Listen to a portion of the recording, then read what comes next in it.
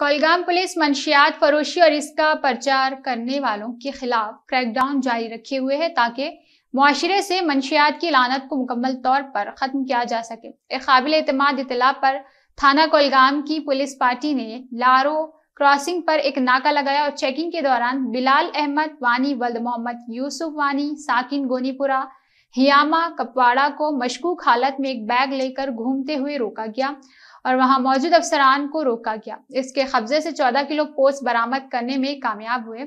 इसे गिरफ़्तार कर लिया गया और वाकई के सिलसिले में एफआईआर पुलिस स्टेशन कोलगाम में दर्ज करके तफ्तीश शुरू कर दी गई है। लोगों से गुजारिश है कि वो अपने आसपास के इलाके में किसी भी गैर समाजी सरगर्मी के बारे में मालूम के साथ आगे आए ताकि मुजरिमों के खिलाफ बर वक्त कार्रवाई की जा सके।